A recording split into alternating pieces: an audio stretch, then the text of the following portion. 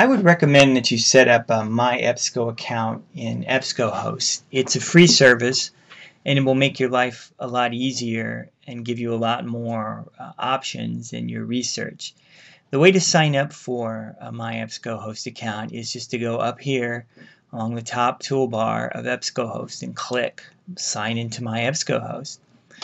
Now you're a new user, so you want to click on I'm a new user and you will get the page that allows you to set up your account. Again, it just wants your first and last name and email address uh, and your username and password and a secret question in case you forget. I've already got one set up, so I'm going to go ahead and go back and sign in directly with the username and password that I have set up.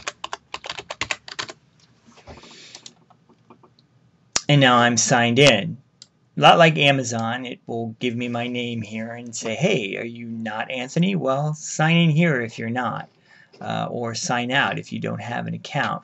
But you can see that not much has changed, at least on the main search page. But if we look in the folder here, you will see some articles that I have saved from a previous search.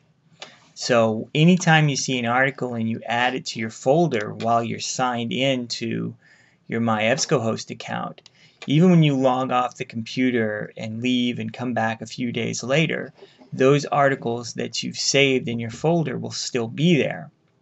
So that's a very nice um, way of saving your research and coming back uh, to review it later. And as you can see over here, you can also save images, videos, and pretty much anything else.